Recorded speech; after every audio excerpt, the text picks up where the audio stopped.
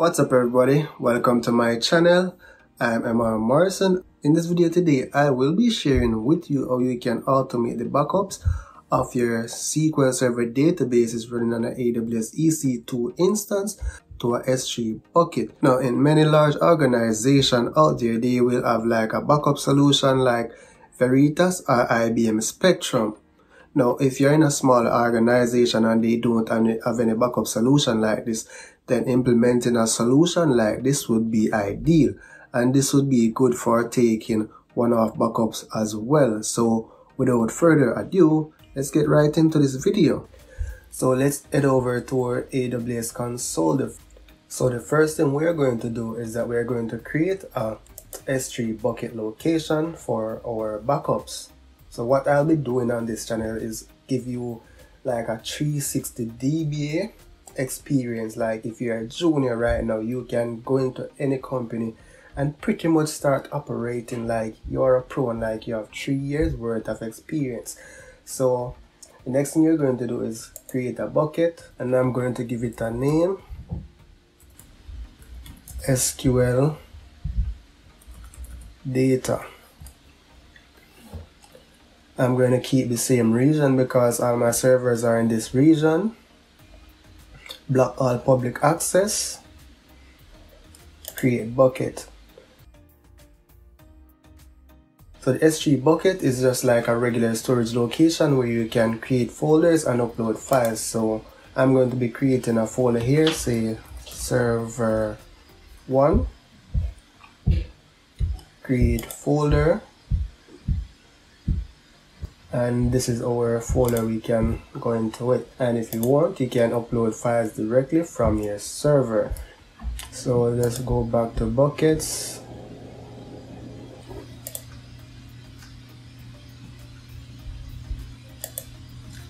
Copy the s3 URI and you can save it in a notepad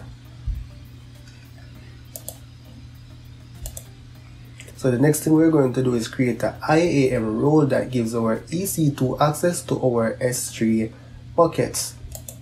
So search IAM role.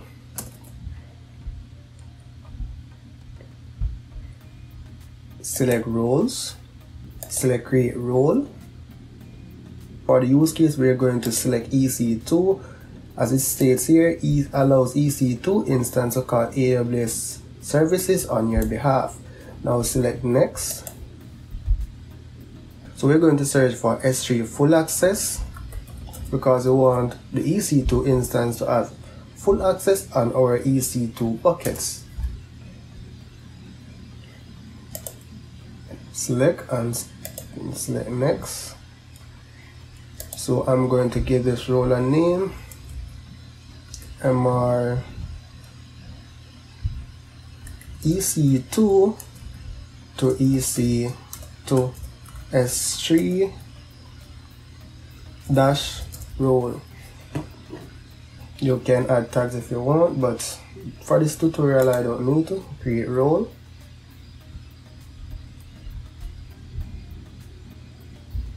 Now as you can see, I have my S3 role here. Now it's time to go back to our EC2 instance and, and add this IAM role to the server.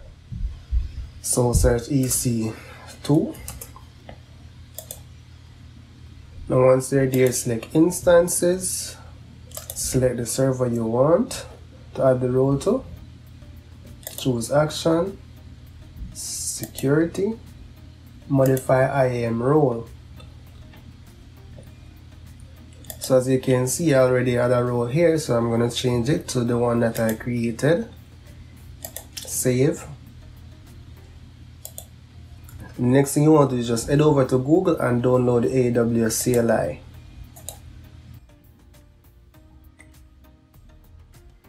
And then download for Windows. Now I already downloaded this file and I already have it installed on my server. As you can see, this is the file. Now let's remote to our server.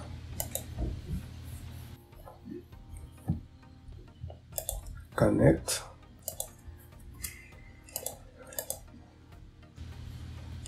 Yes. So to validate that the AWS CLI was installed successfully, what you can do is just launch the PowerShell console.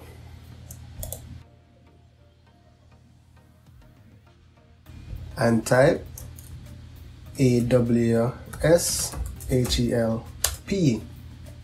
So now we're going to head over to our backup directory for the SQL server. We're just going to create a test file to copy to our S3 and then we're going to automate our backups.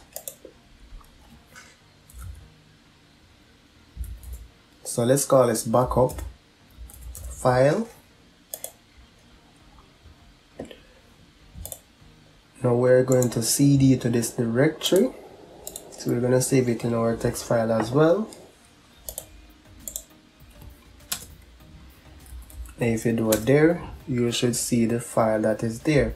So in order to copy to our S3 location, we're going to be using this command here, AWS S3 sync.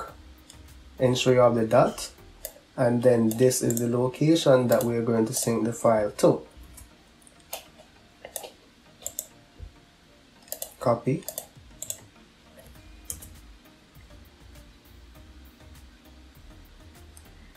So now we can actually do a list on the S3 bucket location to see if the file is actually there. AWS S3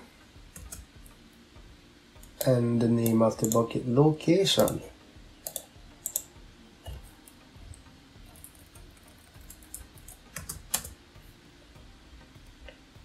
So this is the file that is in our S3 location.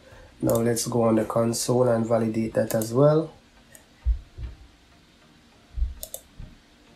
So let's type S3.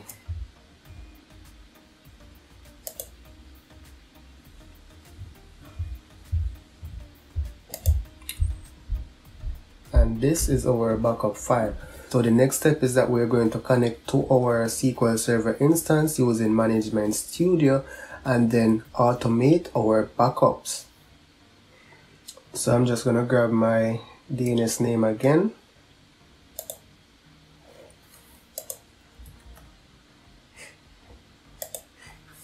Launch SQL Server Management Studio.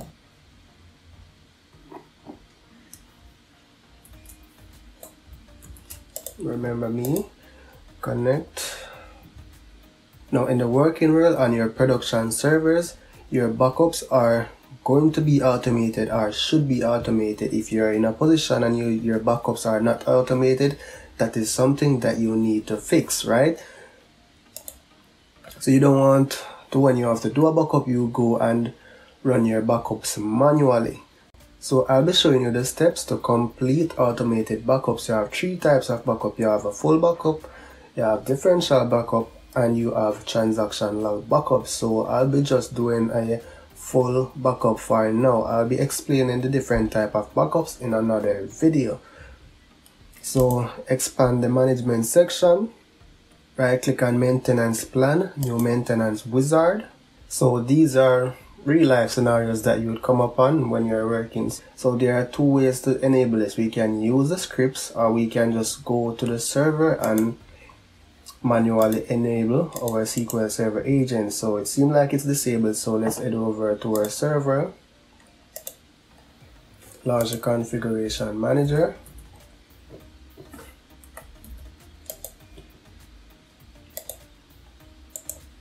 and select start. Now our SQL Server agent is running. Now let's refresh.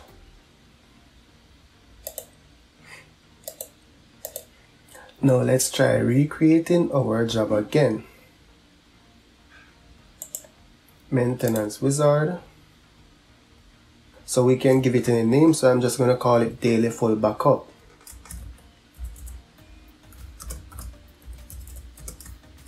So here I can create a separate schedule for each task or use a single schedule for the entire plan. So I'm going to, so we're going to change it select daily. For the frequency, select daily, we want to occur every one day, 12 a.m. is fine. In production, real life, again, you're going to have no end date. But for this tutorial, I'm just going to put end date as to date. Now, okay. Next. Now, what we want to do is do a full backup. So these are the two other backups that I was making reference to. Select next. Full backup. And then we're going to be selecting the databases we want backed up. So I'm going to select the three of them. So this is another option. I could select all databases select OK so we're going to select disk so this is the location for our backups so if you want, you can select create subdirectories for each database. I don't want that, so I'm going to just leave it as is.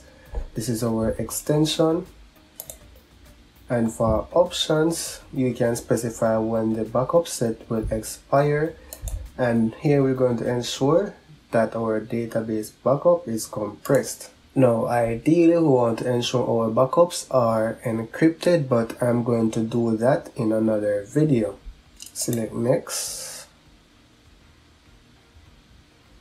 and it's going to write them to write the report to a file location select next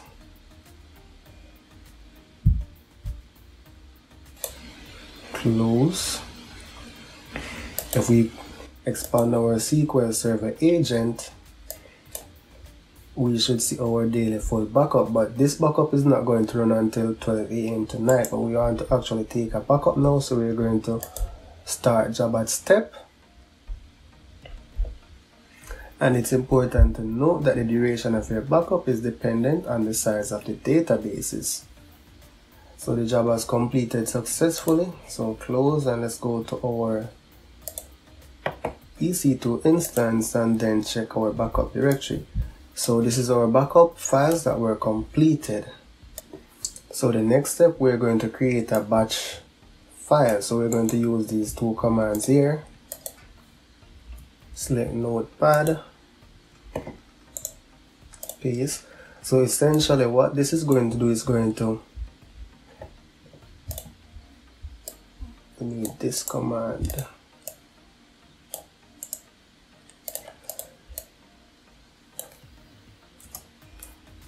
So what this batch script is going to do is going to change the directory to the folder where we have our backups and then sync the files to our S3 location and then we are going to do a remove asterisk in the directory. This will remove all the files in the current backup folder once it has copied them over. So for now, I'm just going to keep it in the documents directory and call it backup. Dot bak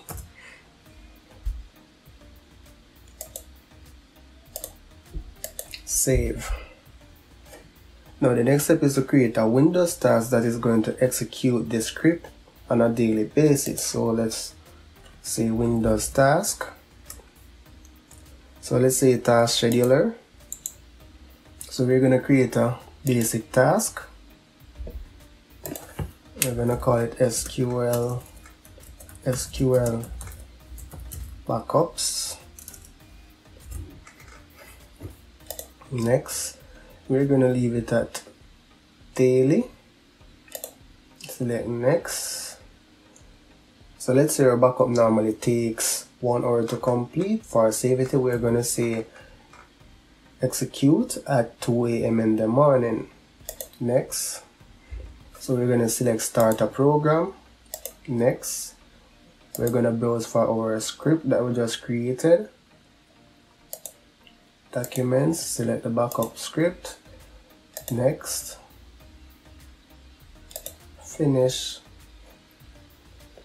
so let's execute our script on demand we need to save it as a that but so let's go to done documents.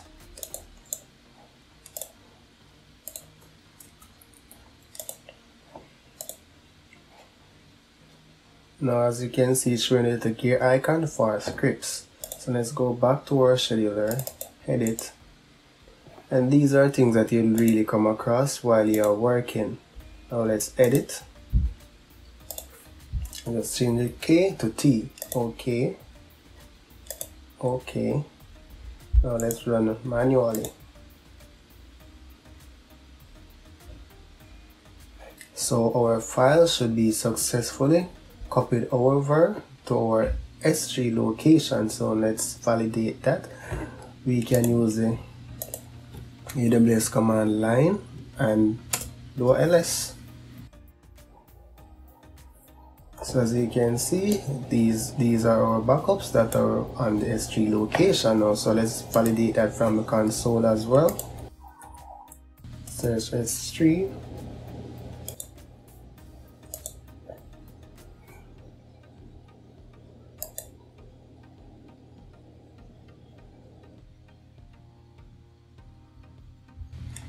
select MySQL data view our server and here are our files that were successfully copied over to our S3 location. Go back to our backup directory and list the directory. So we need to make a slight modification to our script rm is for linux and we need to use del slash q the q will delete it in silent mode. If you don't have the q it's going to it is going to prompt you for yes or no and then that will alter your automation. Because nobody will be there to say yes or no when the copying of the file is running. So let's run our windows task again. Select run. All files should be removed from the directory so let's validate that no extra files were copied to our S3 location. There is no duplicate. Our three files remain.